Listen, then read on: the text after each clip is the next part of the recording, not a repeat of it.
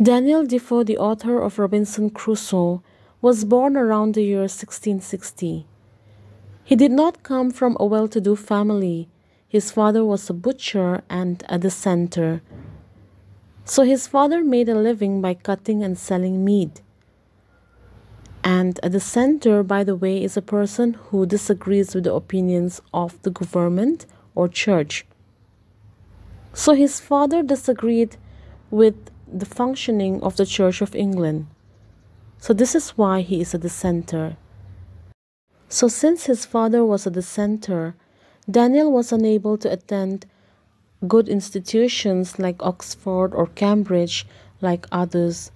So instead he had to attend a dissenting academy where he studied science and some religious subjects.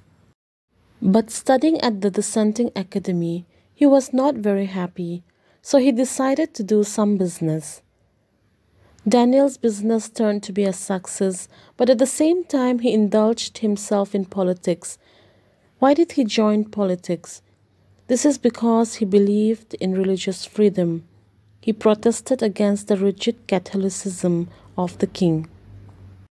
But as time went by, the economic boom and secular politics of Defoe soon collapsed. Things did not go as smoothly as he planned. Foreign trade came to a sudden halt when England declared war against France, along with which came strict religious censorship. Okay, so these were some of the problems he was having. Because of the war, trade came to a standstill, and there was a strict religious censorship.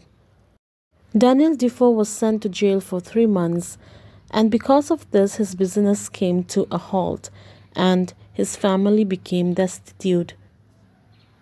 It was under these circumstances that Defoe wrote Robinson Crusoe in 1719 at the age of 60.